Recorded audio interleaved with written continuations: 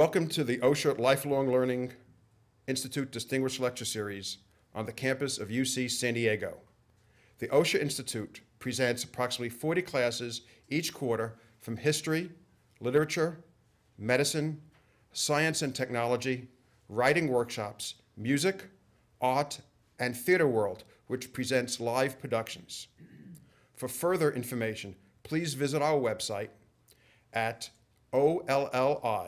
olli.ucsd.edu. Now, it is my pleasure to introduce Clancy Barnes, the coordinator of the Distinguished Lecture Series. Clancy?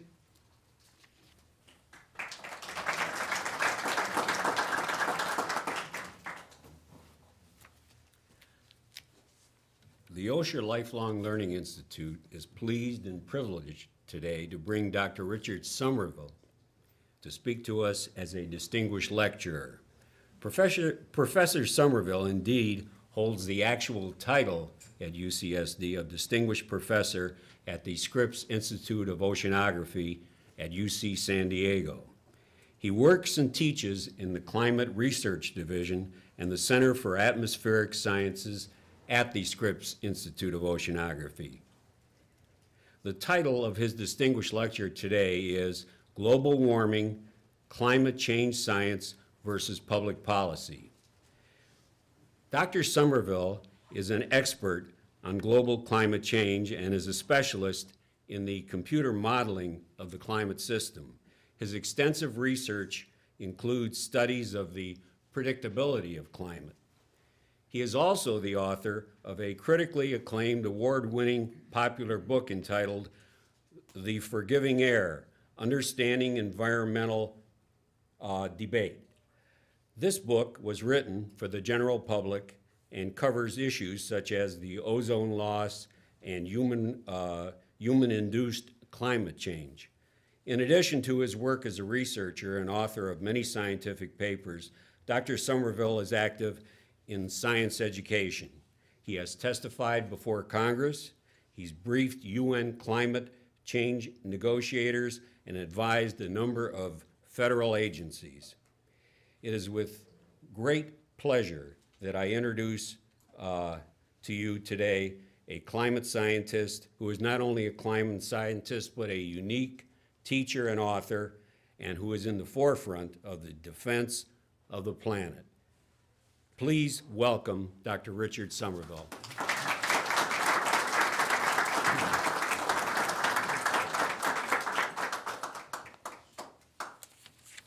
Well, the topic today is one that uh, changes almost by the hour.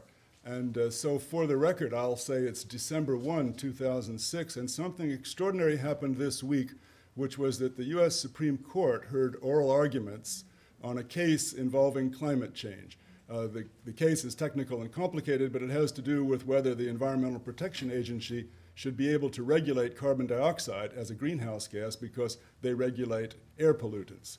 And the, uh, the case was made that in the absence of regulation of greenhouse gases, uh, states and individuals will suffer damage, for example, through loss of coastline due to rising sea level. And so I thought I would uh, read to you an, a part of a, of a, special document that was submitted as a friend of the court, an amicus brief by a group of prominent climate scientists who intended to summarize for the justices the uh, relevant current state of climate science. It's very pertinent because the topic today, as you can see, is this constant tension and push between the science and the public policy related to climate change. So here's some of what this group said. They spoke in very carefully calibrated language so the word uh, virtually certain, that term means greater than 99% chance of being true. Uh, very likely means it's, uh, it's a 90% uh, or above, likely better than two out of three, and so on. Over the last two centuries, I'm quoting, it is virtually certain that human activities have increased the amount of greenhouse gases in the atmosphere to a level not seen in all of human experience and likely not seen for at least three million years. The average global surface temperature has risen. Human activities likely caused most of the approximately 1.1 degree Fahrenheit rise over the 20th century. Sea level has risen one third to two thirds of a foot over the 20th century. Snow cover and ice extent in the Arctic has decreased by about 10% and 25% respectively since the late 60s. And it is very difficult to find global scale um, measures of climate that indicate cooling.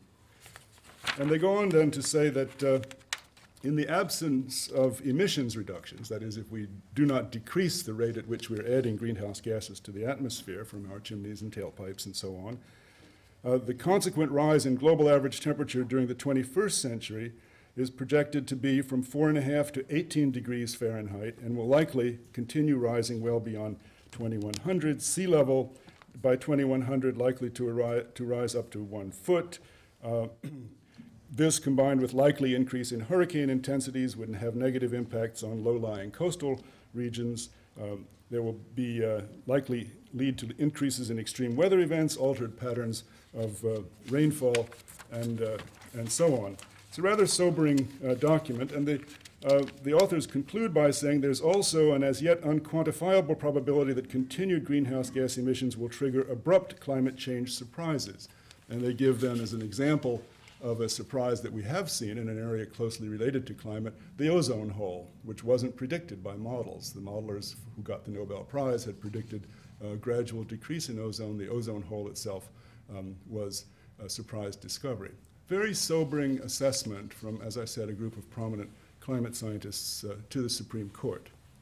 Uh, I've been uh, showing this uh, to illustrate the fact that you can get things technically right, but uh, nonetheless be, be misguided. I'm going to talk today about the science and about the public policy side.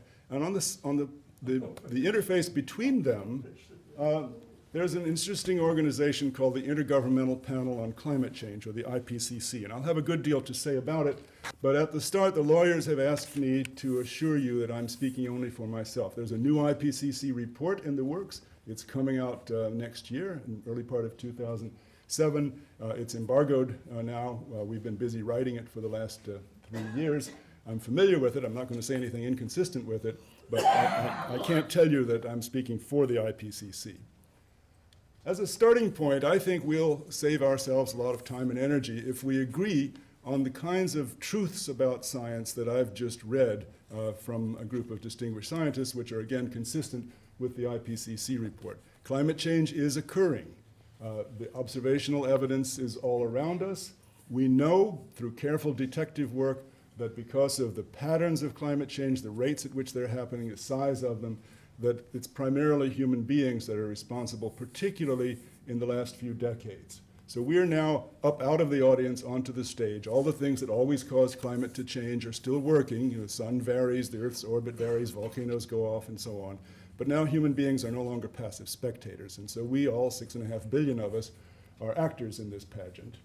And we know, the IPCC has said uh, six years ago, and it's increasingly true today, that uh, the results that we're seeing, the changes in the climate we observe, are in fact predominantly um, human cause. I'm not going to show a whole lot of graphs, but here's one. Uh, this is the uh, record of temperature, the surface temperature of the atmosphere and the top of the ocean, uh, measured over uh, the instrumental period from the late 19th uh, century until today. And you can see it uh, rising. It's calibrated in Celsius degrees, so multiply by 9 fifths to get, to get Fahrenheit.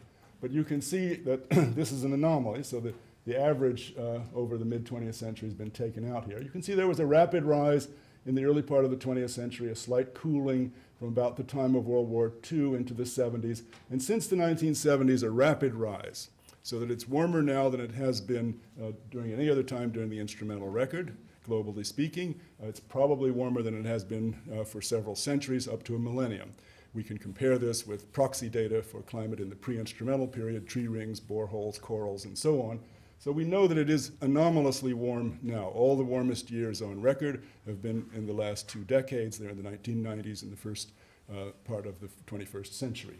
So that's one piece of the puzzle. We don't see uh, evidence in the record for that kind of rapid rise uh, due to natural causes alone.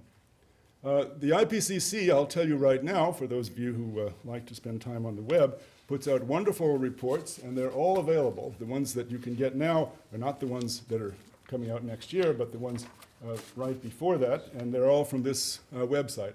If it's an unfamiliar looking website, that's because CH is the French abbreviation for Switzerland, and the IPCC, like a lot of UN agencies, is headquartered in Geneva. I highly recommend this website to you. Uh, this is the last two uh, IPCC uh, reports, uh, two parts of the report that came out in 2001. The one down here, uh, labeled the scientific basis, deals with the consensus of the assessment of peer-reviewed published science by hundreds of, of experts. Uh, the new version will have a 2007 date. That's the one I've been spending about half my time on for the last three years, uh, together with uh, over 100 other um, lead authors. So this is about a thousand page book. Uh, it'll be available also on the IPCC website next spring, published in hard copy by Cambridge University Press. So you can buy this in print if you like. There's a summary for policymakers uh, that is drafted um, by a team of scientists, but then negotiated word by word by government representatives in a remarkable session uh, resembling a mini United Nations General Assembly. Uh, they are uh, allowed to uh, change words and change emphasis because it's written for, um, for policymakers. That's the whole purpose of the IPCC. They're not allowed to say anything inconsistent with the science. So this plenary for the new report will take place in Paris next January and February, and we scientists will be there. Uh, so they can say that sea level rise is serious or critical or a matter of concern, but they can't say it's trivial or impossible. Um, so that should be an interesting give and take, and I'm looking forward to it very much. I highly recommend these books to you. We use them as textbooks for graduate students uh, at Scripps Institution of Oceanography. They're the nearest thing to a gold standard. They're the definitive, definitive authoritative um, summary of climate change science. There are other reports uh, that deal with mitigation and adaptation. How do you reduce uh, emissions? Uh, how do you live with the inevitable climate change? Over time, the IPCC has put out three major reports. The first one in 1990 simply said uh, this is a subject of concern, but by 1995, you can see this delicate uh, negotiated language. If this looks like lawyerly language, it's because a lot of very fine lawyers have been at it. And, uh, but in 2001, uh, we got from the governments, which, as you can imagine, bring very different perspectives to this uh, issue, that most of the warming over the last 50 uh, years is, is human caused. So that's very much a consensus view right now.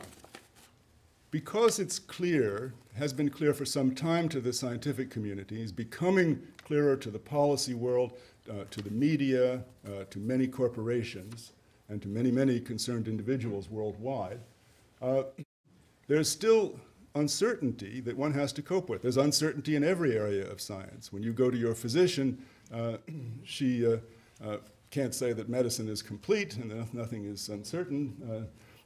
They haven't cured a lot of diseases yet. Nonetheless, the science of medicine is good enough to provide useful input to you, and so the science of climate is good enough to provide useful input uh, to policymakers despite the uncertainty. And the IPCC is very careful um, to, uh, to make clear the degree of uncertainty.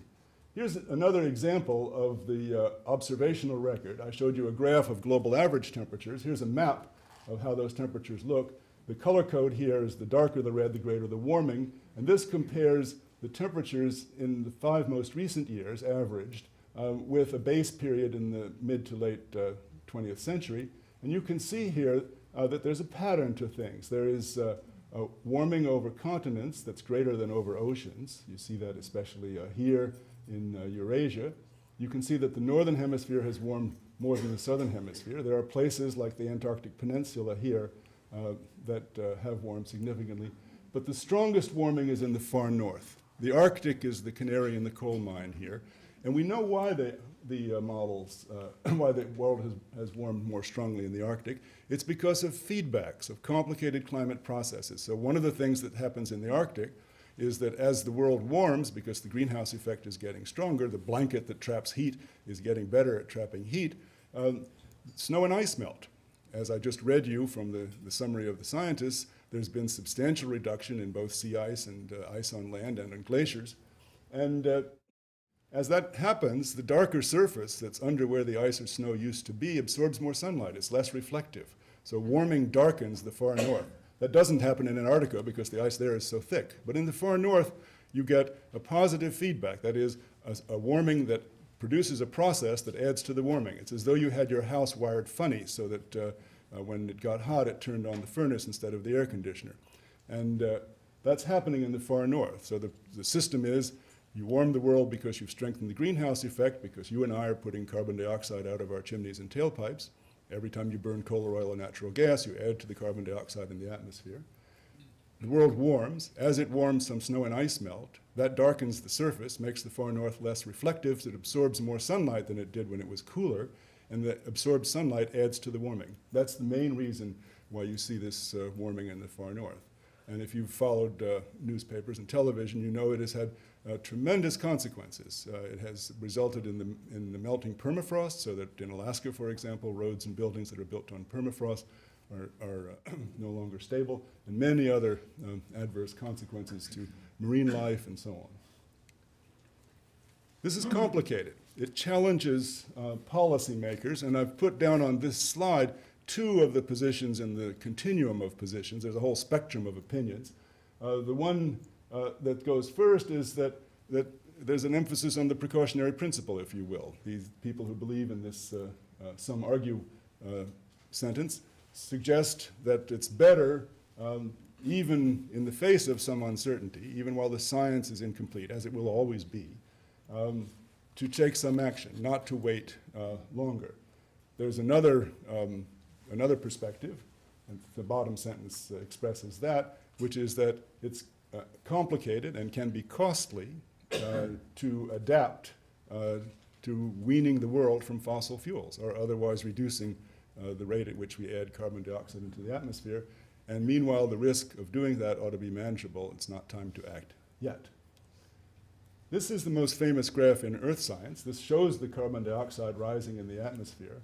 Um, this is a local product. This graph uh, grew out of the work of Charles David Keeling, who died last year, a chemist who spent all his uh, life um, at Scripps Institution of Oceanography, his entire career. He was brought here as a postdoctoral fellow in the 1950s by Roger Revelle, who was then director of Scripps and hadn't yet founded uh, UCSD. Um, there are many interesting stories about Keeling and, and Revelle. Keeling was a very stubborn fellow. Revelle said he had a gene for measuring carbon dioxide and was the most stubborn man he'd ever met. Uh, they disagreed uh, genially about uh, the best way to do this. But Keeling um, had invented the instrument to measure carbon dioxide. It wasn't possible before he measured it, before he invented the instrument. It's a very rare gas. Out of every million molecules of air, there are only 380 molecules um, that are carbon dioxide. The rise in uh, carbon dioxide from the late 50s when Keeling began his measurements till today, and by the way, today the measurements are being carried on others by others. There's a global network and so on. The rise is due entirely uh, to human activities, mainly burning fossil fuels, but also deforestation, cement manufacture. We know that because for you chemists, the carbon dioxide in the atmosphere has a different isotopic signature depending on where it comes from. So we can distinguish CO2 made by human activities from other CO2. The data are so good that if you, uh, if you uh, take out these annual wiggles, the red uh, uh ups and downs every year, which are uh, shown here in more detail, if you take them out, uh, you can see things like the Arab oil embargo in the 1970s. That's this flattening out when there was temporarily less petroleum used uh, worldwide. You can see El Ninos, where the solubility of CO2 in the ocean changes. Carbon dioxide is rather benign gas. You know, it's, uh, it's what's in the bubbles in champagne or beer or, or soft drinks. Uh, it's tasteless, odorless, colorless, non-toxic, but it contributes to the greenhouse effect. And it's of the gases that human beings are affecting, uh, it's the most important one by far. The annual wiggles are due to the biosphere breathing. Every year, as the trees put out leaves and photosynthesize, they draw down the carbon dioxide in the atmosphere. They're turning that carbon into tree material. And in the fall, when the leaves fall off, the trees respire, the CO2 goes back in the atmosphere. So in this one single curve, you see the effect of human activities. This is substantial. The numbers on the right show that in, in 1958, when the, the chart begins, the number of CO2 molecules per million was 315. Now it's uh, 380. We know what it was, by the way, in the 19th century before people started using fossil fuels because we've analyzed air bubbles trapped in ice and dated them. So it was 280. So it's gone from 280 to, uh, to 380, uh, uh, more than a third uh, kind of jump in, uh, in just the space of a little over a century. So the, the rise is due to you and me. The wiggles are due to the interaction between the physical climate system and the world of living things. It follows the northern hemisphere seasons, by the way, because there's most of the land by far is in the north, so most of the trees are in the north. And furthermore, these data are representative of the whole world. Keeling won that argument with Revelle. Revelle wanted to put the instrument on a ship and do cruises in the traditional oceanographic way. Uh, Keeling, remember, it's a postdoc in his 20s arguing with a world renowned scientist who was well over six feet tall and didn't have a mousy personality at all. And uh, Keeling said, no, no, no, the CO2 stays in the atmosphere for decades to centuries, so if I measure it in one pristine location and do that right, it'll be representative of the global concentration. And he was right. And that, by the way, has profound geof- uh, geopolitical consequences today because uh, that means the CO2 overhead right now is not what was put into the atmosphere by California or La Jolla, it was what's put into the atmosphere by the whole world. It's been mixed around by the winds so that uh, countries uh, all experience the climatic effects regardless of who made the CO2. So that's an, one example of what policymakers have to cope with. And we'd like to think that wise policy in an area where technology matters so much and where there's so much technical substance ought to be informed by sound uh, science. But there isn't any single guru. Um, there's, uh, there's no oracle that uh, pronounces on the science in a way that everyone can agree on. And that's why the IPCC was established. It was put together nearly 20 years ago um, to provide uh, policymakers uh, with input, to provide the science in a way that was relevant uh, to the needs of the policy world. It's been an extraordinary success. Um, it is uh, very highly regarded worldwide, and that itself has had consequences that I'll come to as well. Here's an example of a policymaker's quandary, and incidentally, an insurance company's quandary, too. Um, this is Katrina. Now, I'll say right away that you can't say Katrina is a smoking gun. You can't say Katrina was, in some sense, caused by global warming. But you can say that in a warmer world, tropical cyclones, hurricanes in particular, which get their energy from the warm ocean, which only form uh, when the ocean is above a critical temperature, other things being equal, there'll be a greater energy supply. And so there is research, it's a, it's a far from complete, still active area of research, but there is research that suggests that uh, hurricanes in a warmer world should become stronger. In particular, that the strongest hurricanes might be strongest, might be more strong, and that there's evidence, because hurricanes have been observed now for many decades, there's evidence that this may be happening at least in some parts of the world. As I said, the, uh, the word is far from, from being said finally. We don't have all the results we'd like to yet. But if you're contemplating running a reinsurance company and wondering about, uh, about your risk to hurricanes, uh, then you can look at Katrina as an example and, and ask yourself, is this a foretaste of the future? Are we more likely to see these things? It should be said, by the way, that most hurricane damage, that, which has gone up rapidly in recent decades, is doing simply to have, due simply to having more assets, more people, more valuable property uh, in hurricane-prone areas. I'll have more to say about hurricanes later on. There are two uh, agencies. The uh, WMO is an old meteorological agency, been around forever, used to be concerned with dull things like standardizing thermometers around the world, and UNEP, which has a broad environmental charter. The IPCC is governmental and scientific. The scientists work for free, by the way. I mean, they pay our plane tickets and so on, but nothing goes in your pocket if you work for IPCC. It's public service. And the governments are very much in charge of what's done. So there's a certain rigid bureaucracy, there's a forest of uh, of acronyms, and there's a clash of culture. You know, when scientists go to meetings, they wear scruffy clothes and they argue about things, and then afterwards they go have a beer. Uh, the government meetings, on the other hand, are all business wear, parliamentary procedure, great formality, uh, and uh, great uh, civil courtesy compared to science meetings. You, you don't even feel the knife sliding between your ribs. the IPCC doesn't conduct research. Although, interestingly enough, it has come to influence the research that's conducted. The first IPCC report, the 1991, one, was really, you might say, a pure review of the existing scientific literature. But as time has gone on, more and more research is being done because the IPCC is thought to need the results. So you will hear scientists say, I've got to get my model running because you know, the IPCC deadline is uh, so-and-so. And uh, it has a lot of noble words in its mandate here. You can see comprehensive, objective, open, uh, transparent, and it's supposed to report in ways that are relevant to policy, but that are not driven by or prescriptive of policy. So the IPCC doesn't advise governments or anybody else what to do. It just summarizes the science so they can mix that in with everything else that goes into the decision.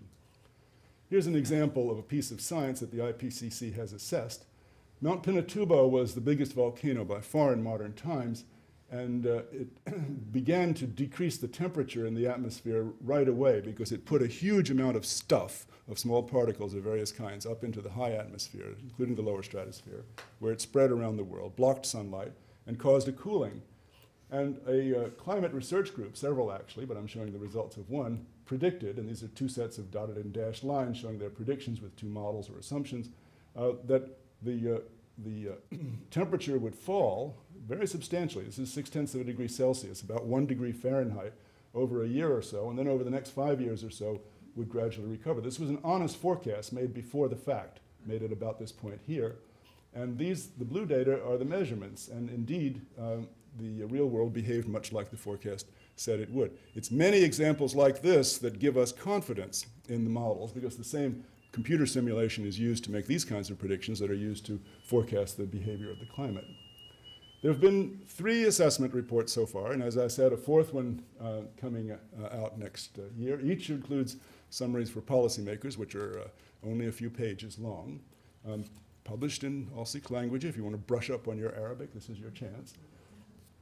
Uh, the first assessment report was influential uh, in uh, causing the governments of the world to sign on to the UN Framework Convention on Climate Change at the Earth Summit in Rio, which you may remember, the largest gathering of heads of state and probably paparazzi in the world.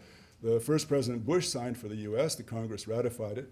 The objective of the Framework Convention is to stabilize the amount of greenhouse gases in the atmosphere at a level that is not dangerous. Dangerous was not defined then and hasn't been defined since. But the goal is there. That, so the US and virtually every other country in the world is a signatory to a solemn international undertaking. And the uh, countries that signed this meet every year. They've just finished meeting in Nairobi, for example.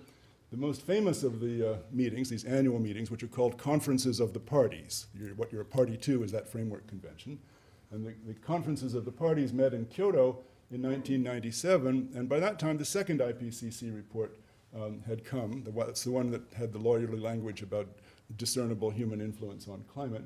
That's where the Kyoto Protocol was formulated. The Kyoto Protocol is now in force. It had for a long time been thought it wouldn't come into force because of the refusal of the US and a couple of other uh, big emitting countries to sign. There was a complicated formula for how many and what kind of countries totaling how much of the world's emissions of CO2 had to sign. But to everyone's surprise, um, Russia uh, ratified it for various reasons, and uh, therefore it came into force uh, not quite two years ago. So it's in force now, and although the U.S. isn't formally a signatory to it, it's affected by it. So, for example, a U.S. multinational corporation with a branch in, a, in another country uh, has to abide by the emissions uh, regulations there. So it's in effect, it's a small first step. If everybody signed Kyoto and nobody cheated, it would slightly reduce the rate at which emissions are being added to the atmosphere. Um, it's as though what you wanted to do was uh, to cut way back on uh, eating so that you uh, stopped gaining weight and began to lose. You're still gaining it now if you think of weight as being like CO2 concentrations, just at a slightly lesser uh, rate than before. But it's a first step. It brings people to the table, it gets uh, the diplomacy going. Uh, I showed you a picture before of how the climate has changed in the last few years. And here's a computer projection from the most recent IPCC report, the 2001 report, uh, showing how the computer models, which there are quite a few now, predicted the world would change under a particular scenario. You don't want to know what these terms tell you. I'll tell you one of them, and then you won't ask me to tell you any of the others. SRES A2, pronounced SRES A2, is the Special Report on Emissions Scenarios, scenario number A2, which is a forecast, a kind of business as usual prediction of how much CO2 would be added under given assumptions for population and the use of fossil fuels. Um, and so under this scenario, so it's not a prediction of what the real world will do, it's a what if experiment. If this much CO2 is emitted and other things happen, how will the climate change? And as you can see down here, what you're looking at is the temperature change in the last part of the current century relative to 1990. And although the, the numbers here are different from the ones we saw before, they're again in Celsius degrees, and the darker the red, the greater the warming, you can see the similarities in pattern. Just as in the observations, there's more warming over North America than in the surrounding oceans. The land warms more than the ocean. After all, that makes a certain amount of sense. When you warm the atmosphere over land, you're only warming the top bit of soil. When you warm the ocean, you have great depth of water. To warm takes a long time. And you see that, again, that over Eurasia, there's more warming predicted by this model uh, than over the surrounding oceans, more warming in the northern hemisphere than in the southern hemisphere, greatest warming in the far north because of this ice-snow reflectivity feedback uh, that I mentioned. It's this sort of similarity between the footprint of climate change that we observe, the picture I showed earlier, and the model prediction of climate change that we simulate under given assumption.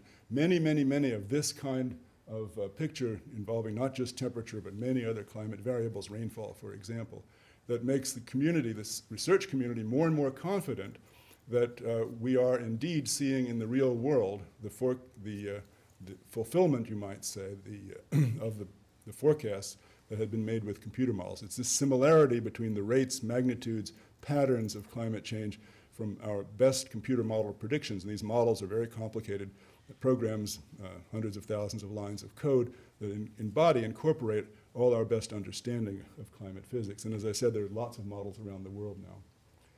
If you like this stuff, if you want a, a, a website, I highly recommend realclimate.org. Um, Real Climate is uh, not uh, put together by uh, propagandists or lobbyists for any concern. It's put together by climate scientists. It's invitational. You can't write an article for realclimate.org unless you're uh, a climate scientist. It's self-regulating, you might say. And so I'm just giving you my personal opinion that the scientists who who do maintain this uh, site quite selflessly and very attractively, by the way. It's a searchable site and uh, you know, it looks like a professional web design.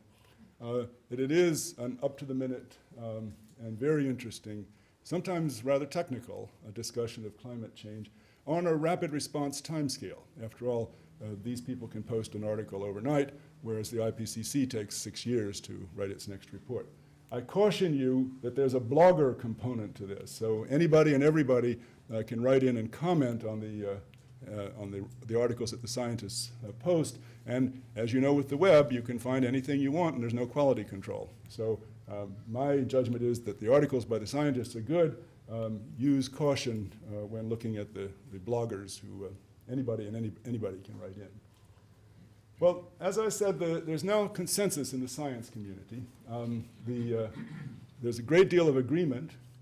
Uh, I'm seeing a rapid change in the way the media uh, treat this issue. Not simply the headline stories. Uh, Time and Newsweek have featured global warming on their covers this year, for example, but in the assumptions underlying the journalism, in the way the issues are framed. So, for example, there's much less of the some scientists think that carbon dioxide is a greenhouse gas. Well, actually, they all do, you know. Uh, it's a good way to tell a scientist from somebody else. And, uh, and there have been parallel examples so that, uh, for example, there are, there are uh, people who disagree with the consensus that HIV uh, causes AIDS, but you don't see uh, an AIDS story framed in terms of that some people think, most scientists don't, and so on. And so that for many, many mainstream media outlets now, both print and broadcast, you are seeing uh, the assumption, uh, often explicitly written, that this problem is real, it's significant. We are increasing the greenhouse effect. Climate is changing. We see it now. Humans uh, are the cause. And we are seeing in many countries and in many states and municipalities in the US, not so much from the federal side, um, the beginning of action. So, for example, the California legislature passed this year, and Governor Schwarzenegger signed a Kyoto like um, binding agreement to reduce greenhouse gas emissions for California. Um, Mayor Sanders in San Diego recently signed on to a uh, U.S. mayor's uh, statement on climate change. And you see that kind of action taking place uh, at, at the business level, too. This is the busiest uh, graph, but I couldn't resist showing it to you. These pie charts up here are rather similar. And they all show the amount of carbon dioxide under different uh, conditions. The first one on the left is the carbon dioxide emitted over 250 years. Obviously, it's an estimate. You still see, you see the USA at about uh, between 25 and 30 percent, China, Russia, Germany, United Kingdom, and so on. If you look at what was in the air in 2005, um, the USA is responsible for a little bit less than uh, the total emissions because there's been uh, emissions growth from other countries. And if you look at currently what's going on in 2005, the US emission was 20.5% of the global total. China was up to 18%. It's a forecast that China will pass the US as the net uh, largest emitter of CO2. Here are those same countries ranked in the order of emissions. So the USA ranked on the left, China next, Russia. So they're ranked in the order of the size of the pie. Um, but what's shown in the bars here is the amount emitted per capita, how much each person is responsible to on average. And you can see that in these uh, units, which are metric tons per year per person, uh, each person in the United States is responsible for between five and six, each person in China less than one. And similarly for India, which is the other country. And generally the BRIC countries, Brazil, Russia, India, China, developing countries with large populations, have low per capita emissions, but rapid growth. And that's the great risk. That's an example of what I meant when I said this is an inherently international problem, and the geopolitics means that all countries of the world have to take action. Because as these countries with large populations grow, as they develop their economies, if they do so on the Western model, you know, globally 80% of global energy is generated by fossil fuels today. The rest is nuclear, renewables, and so on.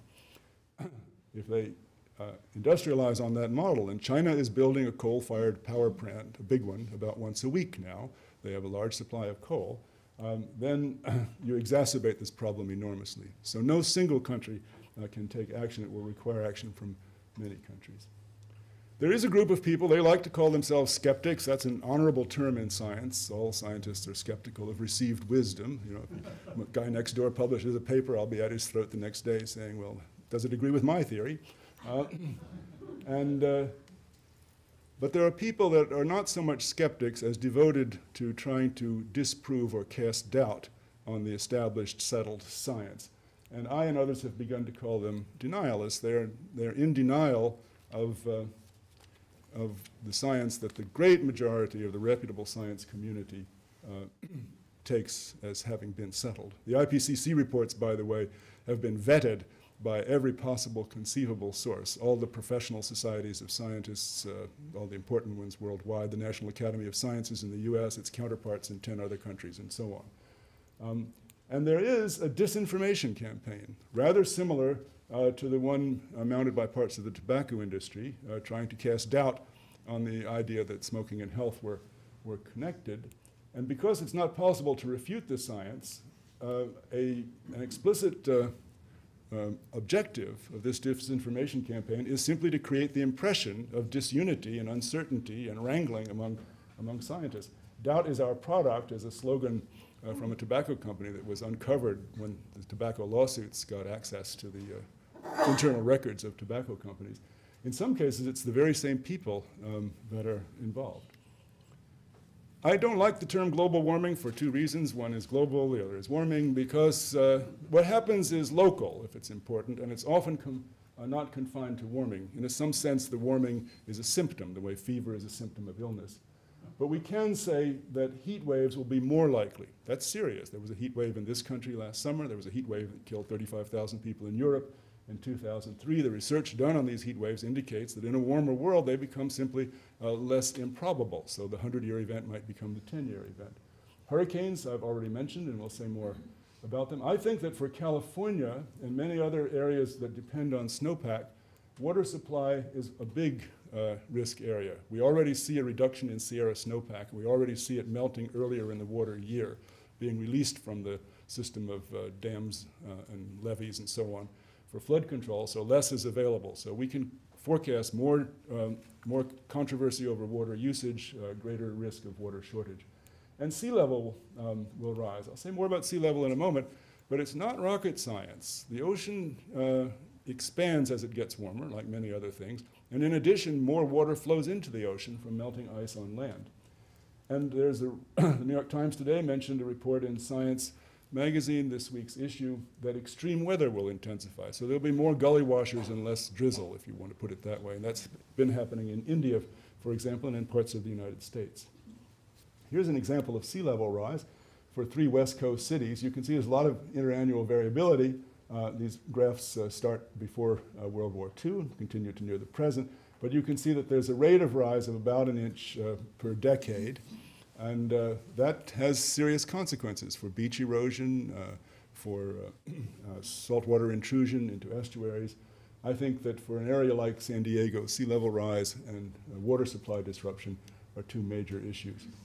The, the comments I, re I read to you at the beginning from the amicus brief to the US Supreme Court by climate scientists talked about surprises, the possibility of thresholds or instabilities or tipping points. And here's one that's been looked into recently. In Greenland, it turns out that meltwater from the surface flows in many places down through deep crevasses called moulins to the bottom and lubricate the base where the ice sheet is grounded against bedrock. And uh, so it looks like the melting of Greenland, and there's paleo evidence from the geological past that this has happened in the past, uh, can uh, happen suddenly. That melting can happen suddenly. If you melted all of Greenland, I'm not forecasting that anytime soon, you get t- over 20 feet of sea level rise. And we know sea level was much higher in geologically warm periods in the past. We see corals, for example, many feet above present sea level. And so there is evidence that this is one of those kinds of tipping points, perhaps analogous to the ozone hole, where a gradual process um, suddenly um, puts the climate system into another regime. A bit like a light switch. You push against it, you push against it, it resists, and then it clicks and flips over into another regime. Here is a map of uh, areas especially vulnerable. You can see they're all over. They're, in the US, they're on the Gulf Coast and East Coast, uh, where there are many areas of low lying land, but you see this too in in Europe, in the Low Countries, uh, here in the Middle East. This is Bangladesh, and this is uh, northeastern China. There are many parts of the world that are, are extremely vulnerable to, uh, to sea level rise.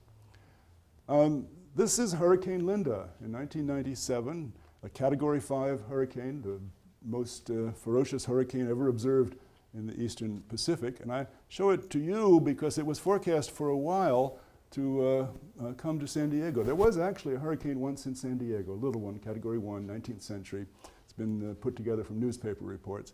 But in general, we don't get hurricanes. Linda, like most Baja hurricanes, went northwest out to sea and dissipated over colder water. But as the waters warm, and the oceans of the world are warming, again in a way consistent with the models, um, it's quite possible that the regions uh, vulnerable to hurricanes um, will alter. So here's an example of something that may be a, a surprise or a threshold or, or, a tipping point. You don't have to get hit by more than one serious hurricane to gain a healthy respect for them. I'm about done now. I've, I've been given a time limit. I'm going to obey it. There are things that people can do. There are solutions. I'm a technological optimist. I think that if the world collectively took this issue as seriously as it deserves and freed up the creativity of bright engineers to look at energy alternatives, uh, freed up uh, the creativity of entrepreneurs in, in the commercial world. Uh, there's lots that could be done. Whether I'm an optimist politically is another story. But I think my advice to people, this applies to school children, it applies to members of Congress, is to accept the facts, learn the facts, uh, to ignore the denialists. There's uh, just some noise there. There is settled science. This problem is not going to go away. Uh, it's uh, real, it's uh, serious, and to take action that's meaningful, um, the action has to be international and has to be coordinated. No one single country uh, solves the problem, but a wealthy, technologically advanced country with a great deal of clout, like the United States, can do a great deal. And some of it can be profitable. needless to say, Toyota is selling all the Priuses um, it can make. If you switch to a to a fuel efficient car, um, if everybody switches to a fuel efficient car, you put money in your pocket, you reduce smog, you reduce your balance of payments problems, and so on. So there are many uh, win-win things, and not everything is costly, but there's a great need for political uh, leadership. In that sense, I agree very much uh, with Al Gore's movie, uh, An Inconvenient Truth. Uh, it's uh, technically pretty good. I could quibble about a detail or two, but as a primer on the global warming issue, it's pretty accurate. And I tell people who, uh, who uh, aren't partial to Al Gore, pretend it's another narrator, somebody you like. Uh, Trevor Hoffman, for example. I mean. um, in the next IPCC report, I see several issues, and perhaps we can discuss them uh, later. One is that it's already clear uh, that there, uh, there is a lack of unanimity, especially on the, on the political side. So I'm looking forward to the education I expect to get at the IPCC plenary in Paris in early 2007 uh, because um, Saudi Arabia and a small island nation might have very different perspectives on the, the climate change uh, uh, issue. The IPCC, incidentally, has been uh, so successful uh, that uh, people with interests in other worthy areas, whether it's north-south equity issues or women's health or many other issues, are thinking, well, we've got a mechanism that works now, let's expand the IPCC. Uh, it's done climate, let's have it do uh, something else. So there's a, there's a threat to divert the IPCC uh, to have it, to broaden its charter. I think uh, the disinformation campaign is going to ramp up. Uh, I can already tell you uh, that I've seen evidence that uh, people who would like to disparage the new IPCC report are trolling in the research community with $10,000 honoraria looking for scientists who will write hostile reviews, for example, of the IPCC report, and planning anti-IPCC press conferences. So you're going to see some, some ugly uh, controversy there. I've mentioned uh, Gore's movie. There's a lot of, uh, of other uh, good information out there. I've given you a couple of websites. HBO made a film called Too Hot Not to Handle that I had a part in and, and recommend. Um, I think uh, Gore, you know, is also uh, in some ways a Scripps product. I think many of you have heard the story when Roger Revelle, after founding UCSD, wasn't made its first chancellor. He went off to Harvard, where he did many good things, founded a population program, and also taught a young undergraduate named Al Gore. And uh, so uh, Gore has acknowledged many times that it was Revelle's interest in climate that first captured his attention. And you know, regardless of how you feel about Gore politically, uh, you have to respect the fact that uh, long before he was vice president, while he was still in Congress, he was studying uh, climate. His uh, first book, Earth in the Balance, was, was written uh, before he was elected uh, vice president. so he's learned a great deal. And so he's an example of someone, again, you don't have to agree with every political stand he takes or every remedy he proposes, um, but he's an example of a layperson who has become very well informed and I think that's really the key. I think that the kind of concerted action that I'm speaking of, the leadership from the government side, will come about, um, especially in an advanced Western democracy like the US, uh, when an educated electorate uh, tells the people who are looking for votes, this issue is important to me, it's important to my kids, it's important to my grandchildren, do something about it. Thank you.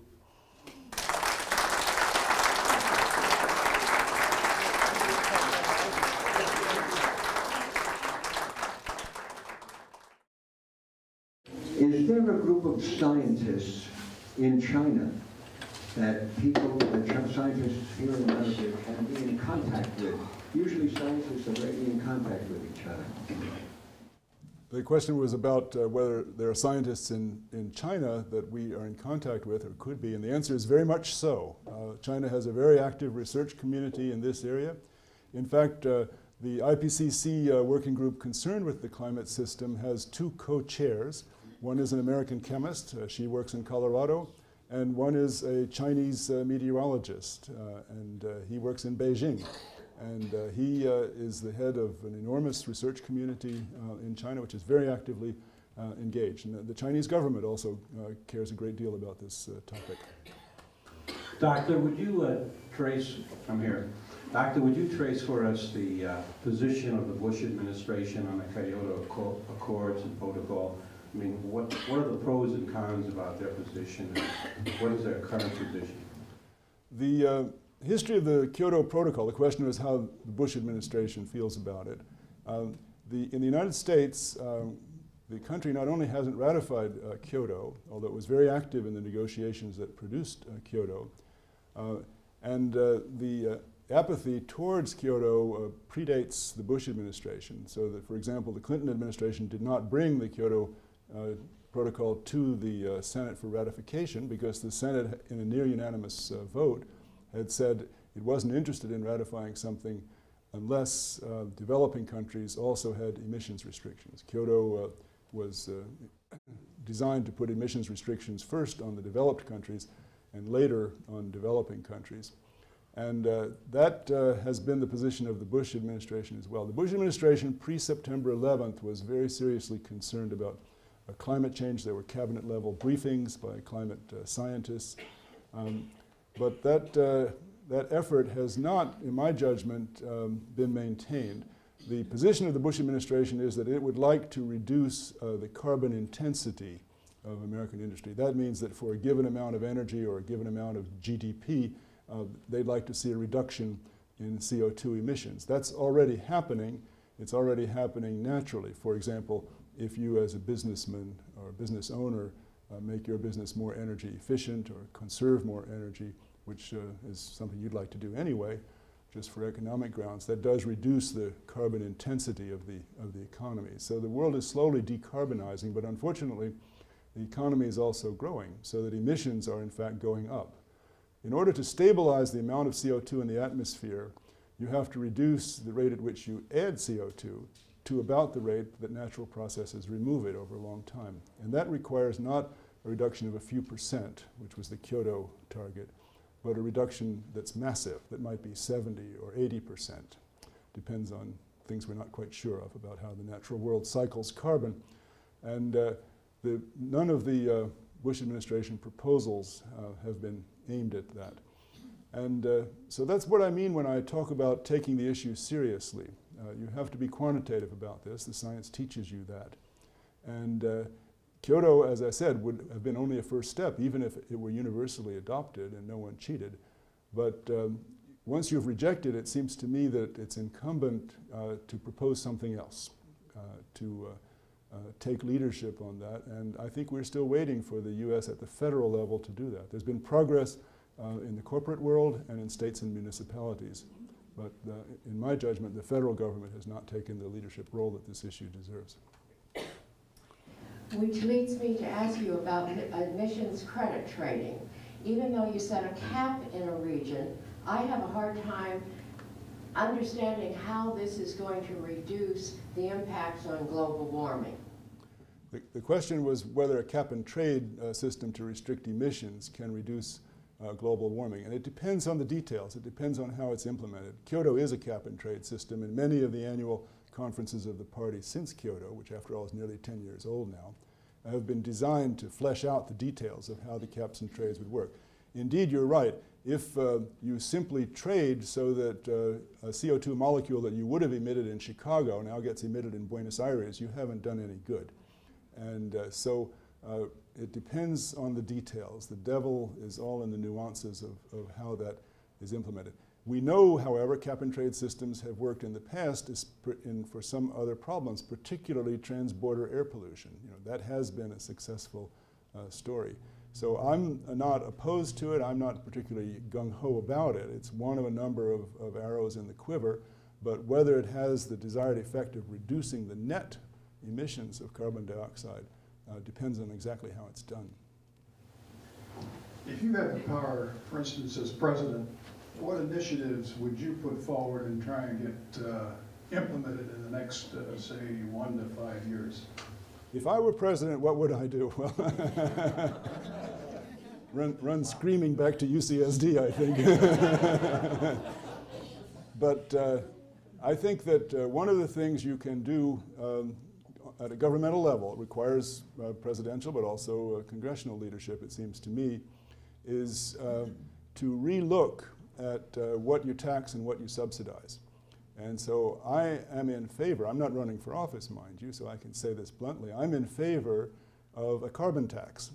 And I am open-minded about whether it's imposed at the wellhead or at the gas pump. I'm open-minded about um, how you make it uh, revenue neutral, if you wish, uh, how you reward people who would be punished uh, by what is, after all, a sales tax.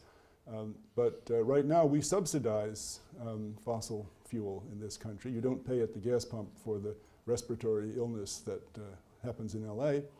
And in Europe, gas costs roughly twice what it costs here, and people pay it, and they've adapted. The difference is tax. Everybody pays the oil producers the same amount for a barrel of crude, and so the Europeans simply tax, this is true throughout Western Europe, tax um, gasoline much more heavily than the United States uh, does. And people drive smaller cars, they live closer to work. Uh, some of that money has built uh, mass transport. Some of these uh, things don't immediately carry over to a big country like the US, for example, but I think uh, it's, it's the right way to go. I think uh, taxing what you, after all, we encourage home ownership by giving people a mortgage break on their income tax. So if you want to subsidize what uh, your judgment of societal good is, and you want to uh, uh, basically uh, discourage people from behaving conversely, there are plenty of ways in the, in the tax code to do that. And I think the other thing is simply to declare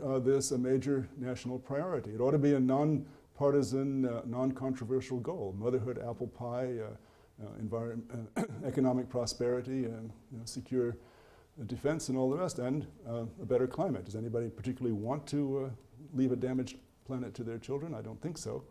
And so, once it's a national priority, there are all kinds of incentives you can provide to uh, industries, for example, uh, to develop uh, what needs to be done energy efficiency, energy conservation, greater reliance on uh, renewables, and, uh, and so on, in- including uh, biofuels and carbon sequestration. Uh, there are all kinds of things one can work on. You can work harder at the uh, next major breakthrough, the hydrogen economy or fusion or whatever um, your pet is. I think uh, there's a lot can be done in many areas. You know, um, France generates 80% of its electricity from nuclear power. In the US, since Chernobyl and Three Mile Island, nuclear power is uh, a political impossibility. There are no plants on the drawing board. Um, but you can look at how, what other countries have done and try to see whether it, it makes sense. I'm no great fan of nuclear power, but after all, the, the objections to it are well known. It's costly, there's a waste disposal issue, there's a reactor safety issue, and there's a proliferation issue. And I think if you free up creative engineers and entrepreneurs, you can make progress on all those issues. And I think people who've looked most carefully at the energy uh, problem in the light of climate change have said there's no single magic bullet, but there are things that can be done in all these areas, and they sum up uh, to what needs to be done, which is basically to wean the world away from the present uh, tendency to use fossil fuels as the basis of the global energy system. That requires political leadership. So I do all that in my first hundred days. And on that note, let's thank Dr. Somerville.